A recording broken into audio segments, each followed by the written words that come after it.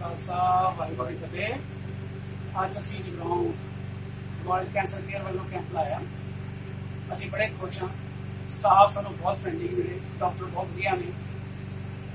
ਇਸ ਵੇਲੇ ਤੱਕ 200 ਵੀ ਲਗਭਗ ਸਾਡੇ ਕੋਲ ਹੋ ਚੁੱਕਿਆ ਪਹਿਲੇ ਸਾਰਾ ਕੈਂਪ ਚੱਲ ਰਿਹਾ ਜਿਸ ਵਿੱਚ ਸਾਰੀਆਂ ਮੈਡੀਸਨ ਸਾਰੇ ਟੈਸਟ ਇਨਕਲੂਡਿੰਗ ਮੈਮੋਗ੍ਰਾਫੀ ਇਹ ਫ੍ਰੀ ਕਰ ਰਹੇ ਨੇ। ਇਹ ਬਹੁਤ ਵਧੀਆ ਕੰਮ ਕਰ ਰਹੇ ਨੇ, ਜੀ, ਸੱਤ ਲੋੜ ਆ ਸਾਰੇ। ਅਸੀਂ ਇਸ ਕੈਂਪ ਤੋਂ ਬਹੁਤ ਸੰਤੁਸ਼ਟ ਹਾਂ।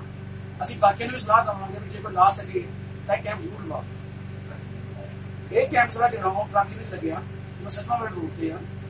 ਸਾਡੇ ਨਾਲ ਸਾਡੇ ਸੱਜਣਾਂ ਦੀ ਮਦਦ ਕੀਤੀ, ਉਹਨਾਂ ਦਾ ਧੰਨਵਾਦ ਕਰਦੇ ਹਾਂ ਅਸੀਂ। ਨਾਲ ਅਸੀਂ ਢਾਲੀਵਾਲ ਸਾਹਿਬ ਦਾ ਧੰਨਵਾਦ ਕਰਦੇ ਨੇ ਇੰਨਾ ਵਧੀਆ ਉਪਰਾਲਾ ਕੀਤਾ, ਜਿਸ ਕਰਕੇ ਇਹ ਪ੍ਰਬੰਧ ਹੋ ਸਕਿਆ। ਵਾਹਿਗੁਰੂ ਜੀ ਖਾਲਸਾ, ਵਾਹਿਗੁਰੂ ਜੀ